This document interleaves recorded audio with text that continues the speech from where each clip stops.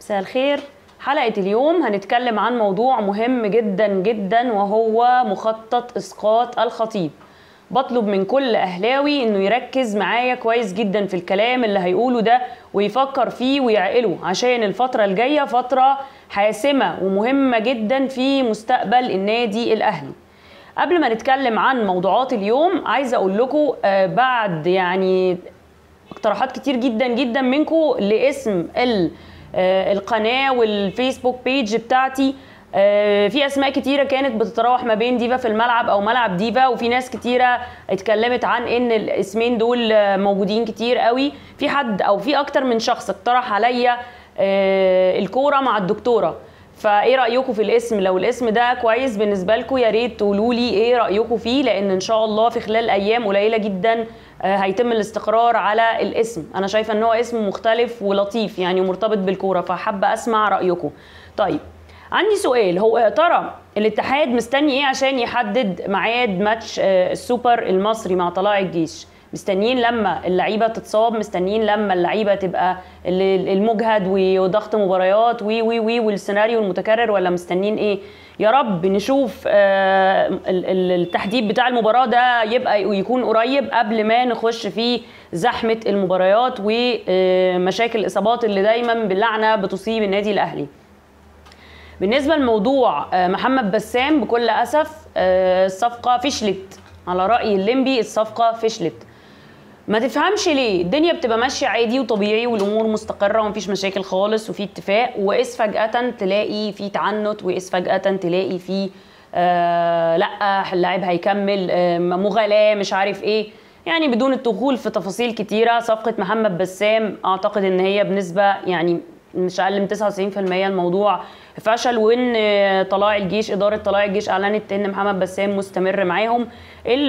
دلوقتي التفاوض هيكون أو الأفضلية بالنسبة للنادي الأهلي ما بين عمر رضوان ومحمود جاد وهاني سليمان كان اسمه مطروح بس ميشيل قال إن هو آه، يعني مش شايف إن اللاعب مناسب النادي الأهلي وإن هو سنه كبير وكده. فالله أعلم هيبقى مين اللي قريب. آه، طلع علينا شوبير وقال لك إن في أزمة في الموضوع والنادي الأهلي مش محتاج أصلا جول كيبر وإن هو عنده آه، حراس كبار وإن هم مش محتاجين حد ويعني كلام كده غريب. يعني طبعا شوبير بيسوق لابنه فطبعا موضوع آه، معروف ومفهوم يا شوبير. وموضوع جنش مرفوض بنسبة مليار في المية ومقفول عشان بس اللي هيطلع علينا واللي بيطلع علينا عمال يقول لنا شوية أبو جبل وشوية جنش الاسمين دول غير مطروحين بنسبة مليون في المية. طيب عايزه أبارك ل ل On Time Sport عودة الفانيلا. إن شاء الله يوم الثلاث القادم عودة الفانيلا. وأنا قلت لكم إن الإيقاف ده كان إيقاف آه، يعني حاجة كده ملهاش آه، لازمة ولا ليها معنى. هي بس عشان إيه؟ تهدئة الأوضاع وهم كام ماتش وهيرجع تاني. فده بالنسبة لموضوع الفانيلا. قبل ما أتكلم على موضوع آه، بيبو الخطيب نظرا لأن الموضوع اتطرح كتير جدا واتسألت فيه في موضوع حلقة شيكابالا و... والمذيع اللي كان معاه أنا قبل الحلقة ما عملتش أي يعني اي أي كلام عليها وما عملتش أي highlight على آه، موضوع الحلقة لأن أنا بالنسبة لي علاج ال- الحاجات دي هو التجاهل. يعني بنسبة 100% إحنا نتجاهل ال...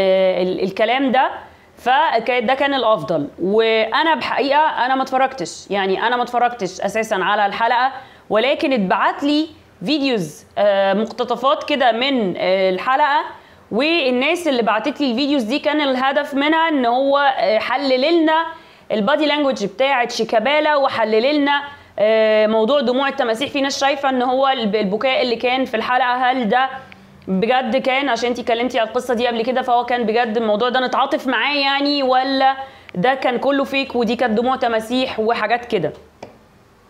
بصراحة أنا مش حابة يعني مش عايزة أتكلم آه، أضيع وقت الحلقة في, في, في القصة بتاعت شيكابالا دي هل هي كانت فيك ولا حقيقي؟ ولكن أنا هقول ببساطة آه، شديدة جدا. آه، الحدق يفهم الإنسان لما بيكون حافظ كلامه بيسمعه أو اللي هو أنا معاه سكريبت أنا قاعدة بقوله ومش طالع من القلب ومن الأعماق بيبان وإمتى أنا بكون صادق 100% ال- الناس عندها من الوعي الكافي إن هي تقدر تحدد هل ده فيك ولا كان حقيقي فأنا مش عايزة اتطرق للقصة دي هسيبها لحكمكم أنتوا. بعيدا بقى عن موضوع وأنا مالي يا لمبي والنعمة منى دي أختي منى اللي أنت قلتها في الحلقة وإن الجماهير اللي كانت بتشتم وأنت ما شتمتش وإنك ما قلتش حاجة وإنك قلت لمجاهد بس أنت أهلاوي وكل الهبد ده وإنك دايما رد فعل ومسكين ومظلوم مع إن كل الناس بتتشتم وبتتهزق عادي جدا وما بتردش لأن إحنا ما ينفعش نعادي جمهور. أنا يعني أنا كشخصية عامة ما ينفعش أعادي جمهور. ما فيش منطق يقول كده ابدا. لازم يبقى في رقابة على الكلام اللي أنا بقوله ويبقى الواحد دايما مركز في الكلام اللي بيطلع من بقه. بعيدا عن كل الكلام ده أنا استوقفني بقى الجملة الأهم والأفيد اللي هي للتاريخ.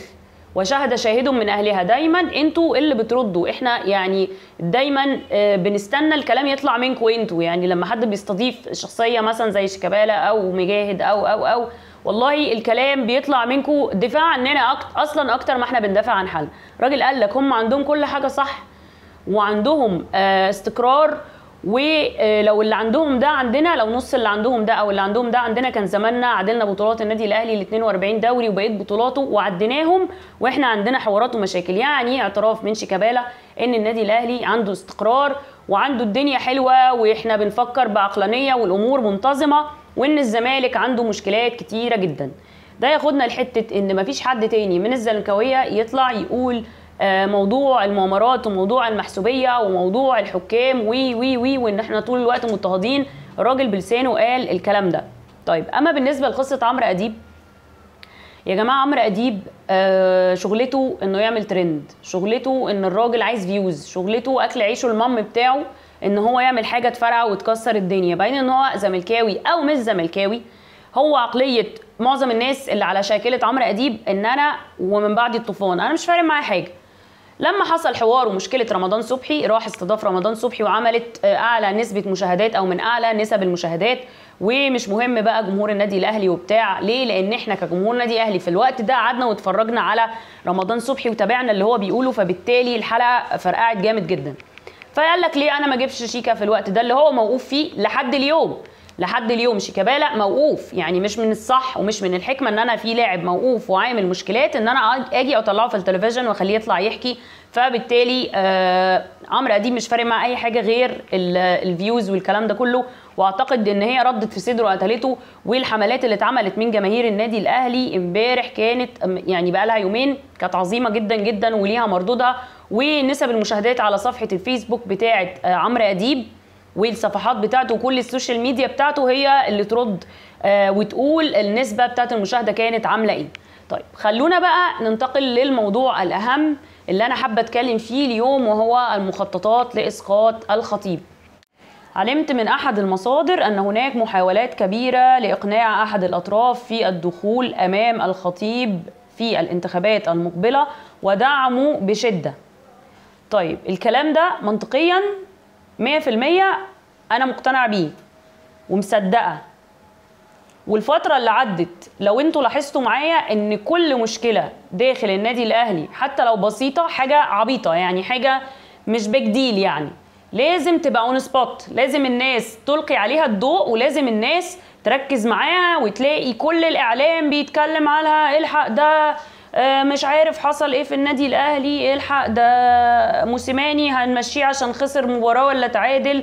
ده عايزين حكام أجانب وإحنا مش م- م- وال- وال- واتحاد الكورة مش موافق. وي وي وي وحاجات ومشكلات كبيرة جدا جدا طول الوقت. أخبار أخبار عن النادي الأهلي. ده غير الأخبار المفبركة ده غير حوارات ومشكلات. مرة كهرباء قصدي 10 مرات كهرباء ومرتين ثلاثة الشناوي ومرة مشكلة سيد وبيبو مش عايز سيد ومرة بيبو هيقيل موسيماني لضعفه. عارفين الفترة كانت صعبة جدا. وللأسف ناس كتيرة جدا أهلاوية كانت بتنساق وراء الأخبار دي وبتحس إن فعلا اللي هم عايزين يصدروا لي المعلومة إن مجلس إدارة النادي الأهلي ضعيف.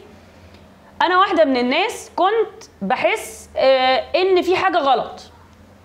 كنت بحس إن إحنا فعلا ليه ساكتين؟ عايزين حكام أجانب هم مش موافقين؟ لا لازم يبقى في رياكشن أقوى من كده. طيب. إحنا اللعيبة بتاعتنا الدوليين ما نسمحش إن هم يسافروا أولمبيكيات طوكيو. طبعا الأولمبيكيات دي على سبيل الهزار بس عشان الناس اللي بتبقى واقفة لي على الواحدة وتقول لي حطيتي ت مربوطة وحطيتي ألف. ده الكلام ده على من سبيل الدعابة يعني. راحوا ال- ال- الأولمبيات عادي وإحنا كنا مش عايزين وسابونا وإحنا ضعاف وإحنا مش عارف إيه. والنتيجة إن كان في كذا ماتش حصل فيهم دروب كبير. لعيبة مجهدة لا كل كل البلبلة اللي حصلت دي يا جماعة بالأخير عايزة آه، تصدر فكرة إن مجلس إدارة النادي الأهلي بقيادة بيبو هو في ضعف كبير جدا ومش عايزين الراجل ده يكون موجود في المركز. وأنا قلت لكم أنا واحدة من الناس كنت أحيانا بستاء جدا من القرارات ببقى مش فاهمة القرارات دي. ليه في رعونة؟ ليه إحنا مش في reaction قوي؟ ليه بيبو مش بيبقى ليه دايما ال upper hand في آه إن هو هو سيد قراره؟ يعني هو ليه مش سيد قراره في المواقف دي؟ فبالتالي مع الوقت ومع بعض المعلومات من من هنا ومن هنا ومن هنا لقيت إن فعلا الموضوع يا جماعة ده مخطط. ده متخطط له بالورقة والقلم إن لأ إحنا دلوقتي آه، مش عايزين الراجل ده يبقى موجود في المكان. الراجل ده ليه شعبية جارفة. ودايما في مشكلة موجودة عندنا ال- ال- الحد اللي بيبقى يعني باورفول قوي ده إحنا مش عايزينه يبقى موجود. إحنا عايزين دايما اللي هو لأ تحت طوعنا وعلى الهادي ونقدر ناخد منه اللي إحنا عايزينه. لكن إن يبقى في شخص ليه قوة وليه يعني ليه أنا أنا سيد قراري وأنا هعمل وهسوي وليه شعبية كبيرة جدا والناس ورايا وبتدعمني لا ده ما ينفعش يبقى موجود وحاصل في الكورة. طيب ومن ضمن الشائعات دي نصحى النهارده على موضوع العناية الإلهية تنقذ الخطيب من الموت المحقق. لما يبقى موقع محترم وينزل خبر زي ده وطبعا كذب كله مش حقيقة.